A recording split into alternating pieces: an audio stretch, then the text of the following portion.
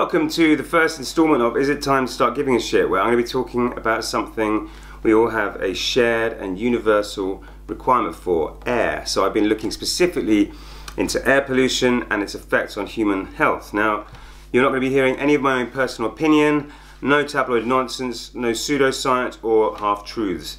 I've done all the reading and research for you, and every statement I make is based on recent scientific study historical fact or the latest statistics with references. And the references will all be popping up as we go along and you can check them all out, follow it up make sure it's all legit. So how bad is the issue? And are those lefty, tree-hugging soap dodgers just whinging on about nothing as usual? Well, most air pollution is completely indiscernible at ground level. You can't see it and you can't smell it, which is why London usually looks like this on a sunny day even when the pollution levels actually look like this. London did used to have a very visible air pollution problem during the 1950s, or the Great Smog as it was called, but it has now become even worse than it was back then, to the point that more people have died in London from air pollution in the last 18 months than they did throughout the whole of the Great Smog back in the 1950s, and the population size has actually changed very little since then.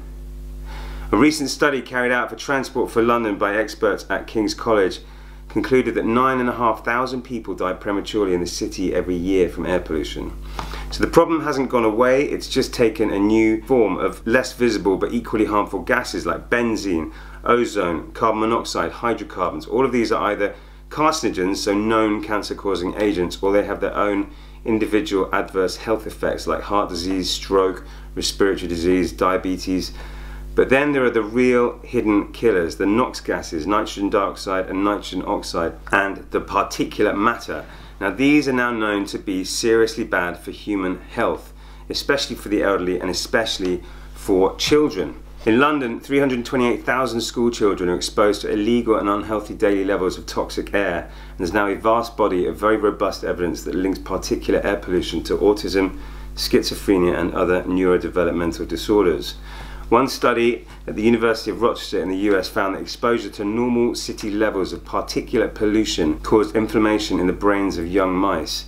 Now the ventricles, part of the circulatory system of the brain, were inflamed and enlarged, taking up space that would otherwise be taken up by growing white matter, by brain matter. Now when this dilation of the ventricles is seen in humans, it's called ventriculomegaly, it has very, very pronounced and well-known behavioural consequences. And Ventriculomegaly is actually what they specifically look for at the 20-week scan during pregnancy to check for spina bifida, Down syndrome and other birth defects. As it turns out, diesel engines, the fuel the public were encouraged to switch to because of slightly lower CO2 emissions, they pump out around 20 times more NOx gases and nearly 65% more particulate pollution than petrol engines. This particulate matter is the least visible, completely odorless, and more importantly, the least regulated form of pollution, and it's being produced in vast, vast quantities by modern combustion engines in cars, lorries, buses, taxis, anything running on fuel, but worst in diesels. Particulate matter is tiny, invisible, ultrafine microparticles called PM10s and PM2.5s, less than 100 nanometers, 30 times less than the width of a human hair, or smaller, but with complex chemistry on their surface.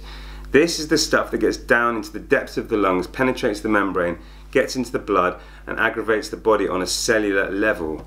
The International Agency for Research on Cancer now states categorically that exhaust fumes and particulate matter are a leading and known cause of cancer, and the World Health Organization puts the global death toll from air pollution at 7 million a year, killing more than AIDS and malaria combined. 50,000 of those deaths occur here in the UK. So these are the facts, the stats, and the latest evidence. Is it time to start giving a shit? I'll leave that with you. Thanks for watching. Until next time.